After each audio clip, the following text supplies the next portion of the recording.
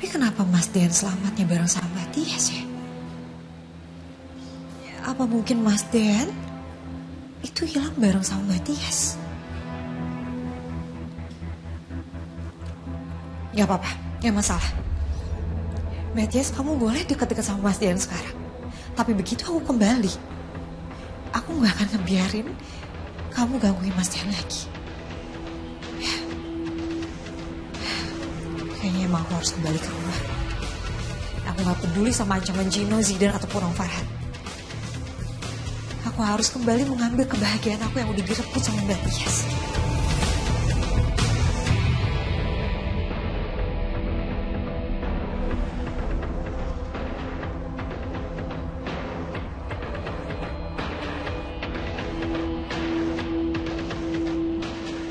Udah pada siap semuanya? Kita pulang ya?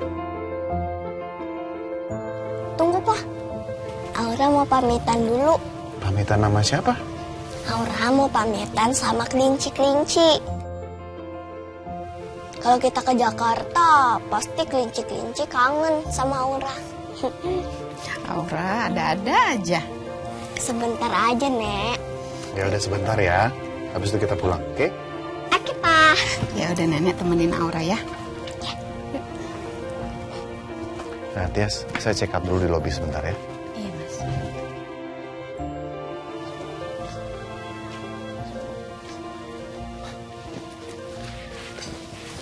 Dia Tias?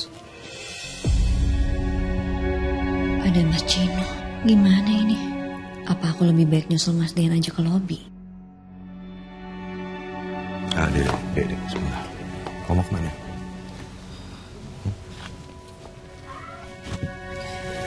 Ke sana. Dek, tunggu sebentar. Kamu kenapa berubah seperti ini sekarang? Perubahan kamu drastis sekali. Aku cuma pengen bicara sebentar sama kamu. Udah gak ada lagi yang harus kita bicarakan, Mas.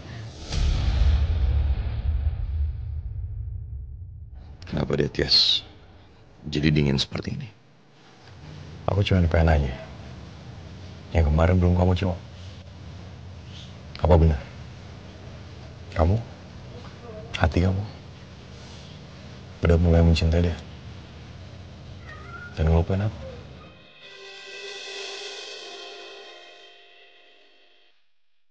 Aku harus bisa membuang perasaan aku ke Mas Cino.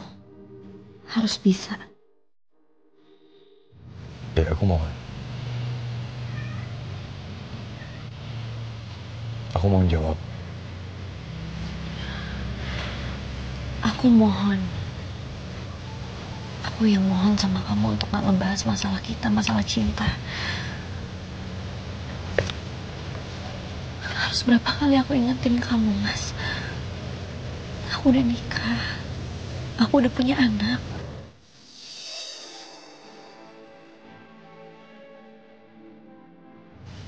Jadi fokus terpenting aku sekarang adalah Mas Dian dan Aura.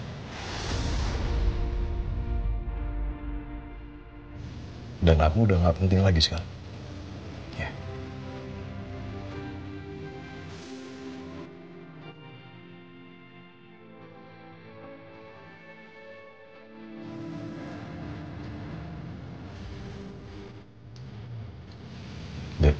Udah.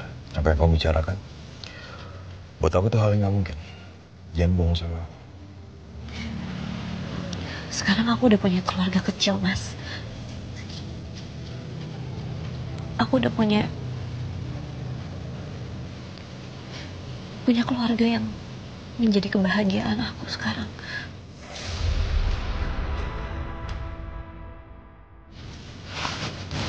Kebahagiaan kamu, kamu kan? Yakin kamu bahagia? Dari awal kamu menikah dengan dia karena aura, ya kan?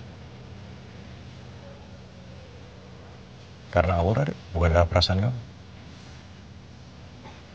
Sekarang, coba lihat deh. Apa dia mencintai kamu? Apa dia jadi sosok seorang suami yang baik?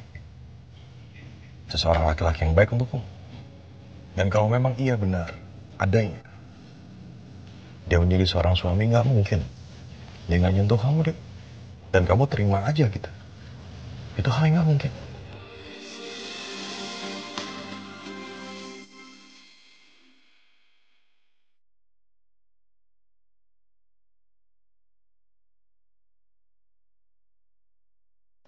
Tonton tayangan favoritmu mulai dari sinetron, film, hingga siaran olahraga di mana pun dan kapan pun. Semua ada di video. Yuk download aplikasi video sekarang.